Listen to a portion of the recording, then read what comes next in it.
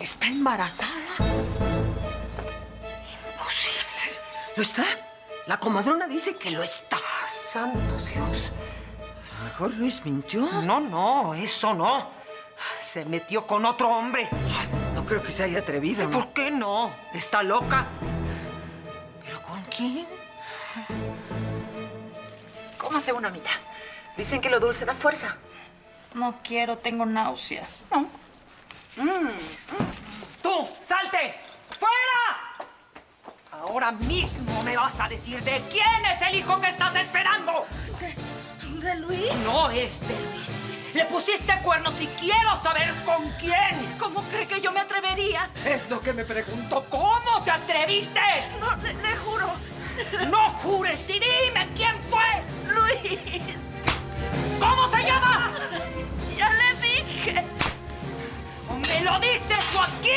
Te muero a palos. Diego. Diego. Diego. Sí. Me dijo que era el enviado de la Virgen. Que me iba a hacer el milagro.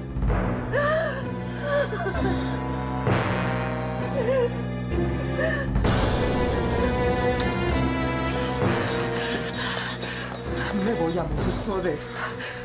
Me voy a morir. Diego. Diego, no lo puedo creer. Mi hijo está perdiendo el juicio. ¿Qué vamos a hacer?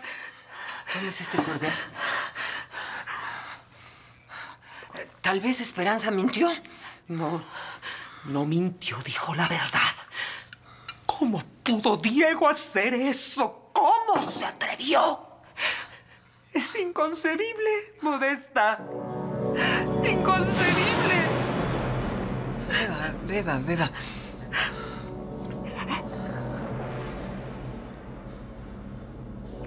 No debió decírselo, Amita. Me asusté. Creí que iba a matarme con su bastón. Ay, se lo va a decir a Luis.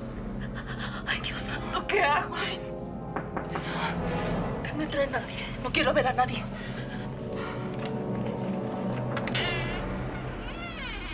¿Puedo hablar con mi hermana? Qué pena, don Santiago, pero se acaba de dormir.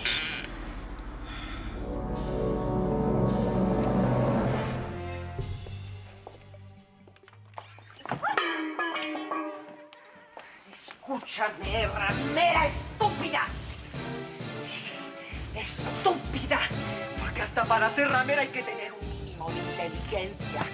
Si le dices a Luis que fui Diego, yo misma te entrego a la Inquisición diciendo que eres una meretriz, una loca. Así que piensa, piensa muy bien a quién le vas a achacar el hijo que dices que esperas. Di que, que, que fue Gasca, Cirilo,